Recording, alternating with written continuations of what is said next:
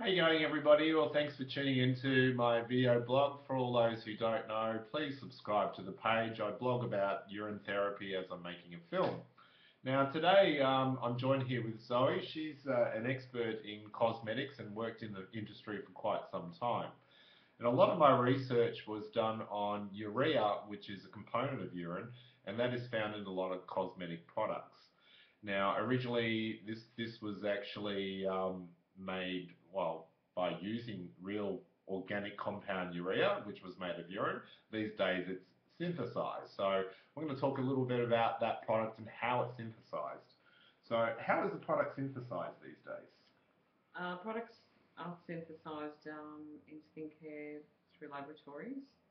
Uh, they're derived from plants and various uh, food components and that's how they're synthesized. They're synthetic as in powder form, um, or they come in liquid, so that's how they're brought into the product. And they usually are designed to um, hydrate the skin, so that's what urea was designed to do. Because um, urea is a natural, it's a natural natural lock-in moisturizer. So therefore, yes. a lot of these cosmetic companies put it in their product, but they don't advertise that. Why? Why is that? You think they don't want to use this as a selling point? Um, I think because the thought of having a product that is an organ or anything that sounds like it's from an organ or a body part or from an animal can make people feel a little bit uneasy.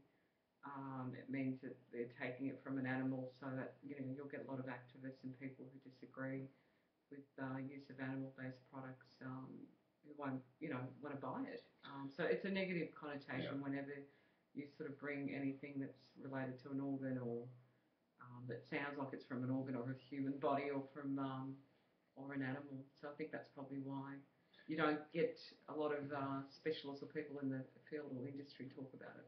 Now, urea on itself as your own perfect uh, product is organic and you could use that as your own skin moisturizer and it also helps heal scars and things. Correct. But a lot of people don't know that being in a cream, if you actually read a lot of the labels, it does say urea.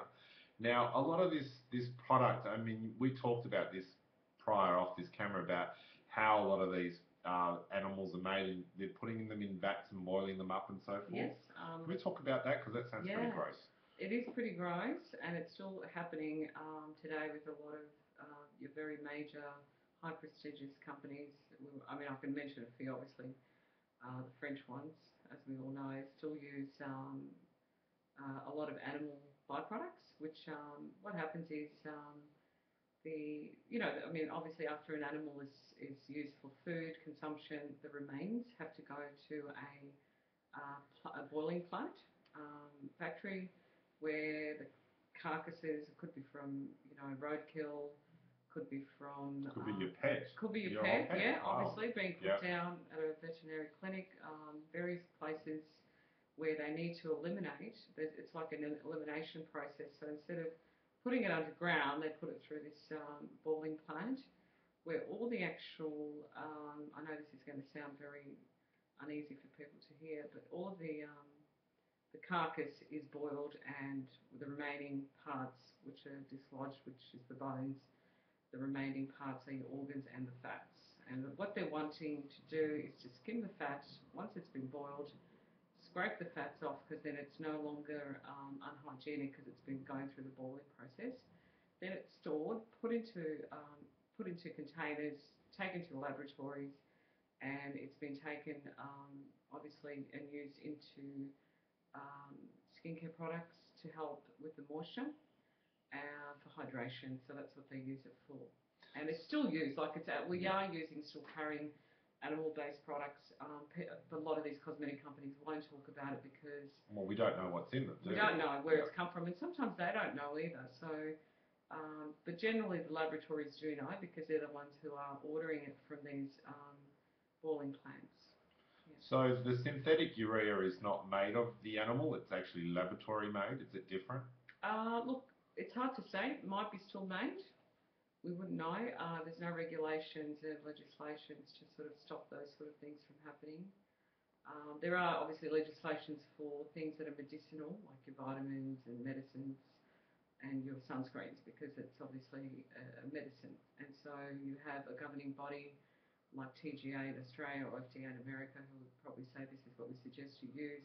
You can't make claims that something's medicinal without having it been tested legislation. But those things like, um, you know, fat products which are, you know, the fat skimmed off the actual animals that we've seen Yep. in a lot of skincare products aren't talked about and they're not governed, so we, you know nobody would really know, and it's not going to be advertised on the actual ingredient listing.